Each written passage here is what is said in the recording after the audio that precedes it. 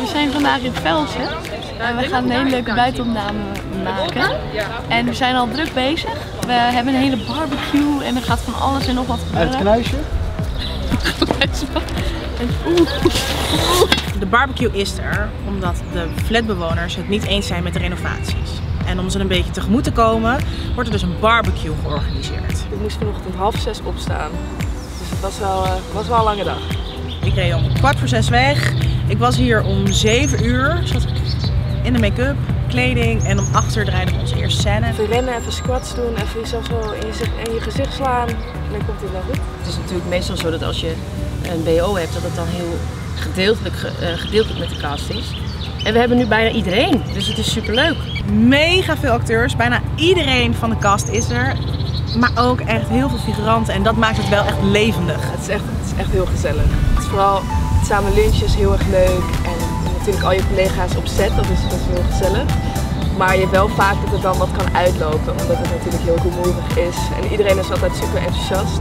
Dus eh, het gaat allemaal wat langzamer, maar de beelden zijn wel eh, heel mooi. de flat ehm, ontploft. Er is een ontploffing. Omdat Agaat nooit van plan was om te renoveren. Ze wilde er gewoon makkelijk vanaf. En laat ze de flats bombarderen. Want dan. ehm, Ze hebben een mooie locatie uitgekozen, maar ze kunnen natuurlijk niet die flats helemaal eh, in de hands laten gaan. Dus er is een speciaal team eh, om dat zo te laten lijken. Met rook en vuur en nou, de hele, de hele shabam. Wat je gaat zien, wat wij gaan zien en wat jullie als kijkers ook gaan zien, zijn hele zwarte rookwolken. En die zijn ook echt, maar zeg maar de knal die wordt er later in bewerkt.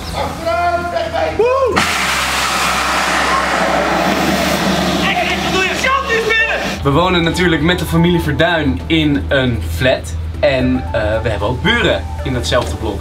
Waarvan onder andere buurman Jan. En buurman Jan, die wordt tijdens de explosie, om wel, maar om iemand te reanimeren waar het eigenlijk best wel goed mee gaat en heel hard op zijn borst gaan duwen, dat is niet zo goed.